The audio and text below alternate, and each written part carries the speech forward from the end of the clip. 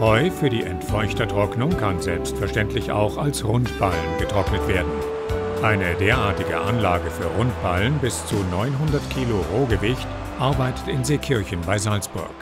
Die Vorteile dieser Erntevariante lassen sich somit mit den Vorzügen der Entfeuchtertrocknung optimal kombinieren. Es gilt, egal für welches Ernteverfahren, je kürzer die Trocknungszeit, desto besser ist die Futterqualität. Wir erreichen heute mit guten getrockneten Heu einen Futterwert, ausgedrückt etwa in Nettoenergielaktation, von über 6 Megajoule pro Kilogramm Trockensubstanz. Das sind Werte, die nicht wesentlich geringer sind als der Futterwert im noch stehenden grünen Futter.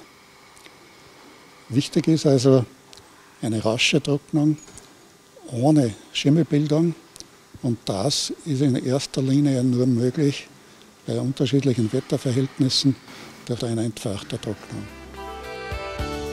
Für Rundballen ist eine rasche Trocknung besonders wichtig.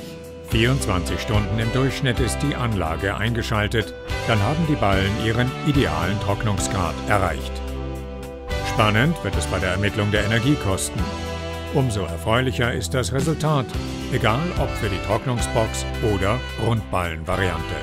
Es gibt Werte, erst in letzter Zeit wirklich präzise Werte für verschiedene Trocknungsvarianten.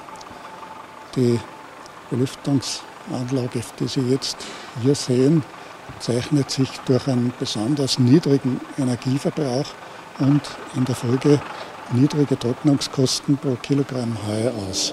Die Trocknungskosten liegen bei dieser Anlage etwa im Bereich von 0,7 bis 1,5 Cent pro Kilogramm Heu.